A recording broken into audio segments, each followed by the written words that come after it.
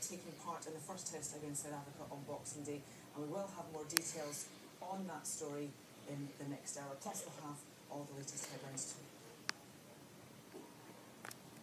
A tranquil air rests over Delaware as the sun shines bright above Miami.